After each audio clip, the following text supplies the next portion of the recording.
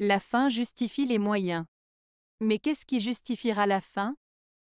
Albert Camus. Cette citation de Camus remet en question l'idée que la fin justifie les moyens utilisés pour y arriver. Il souligne que même si l'on peut considérer que la fin est justifiée, il reste à déterminer ce qui justifie la fin elle-même. En d'autres termes, la question n'est pas seulement de savoir si la fin est bonne ou mauvaise, mais également de savoir si les moyens utilisés pour y arriver sont moralement acceptables.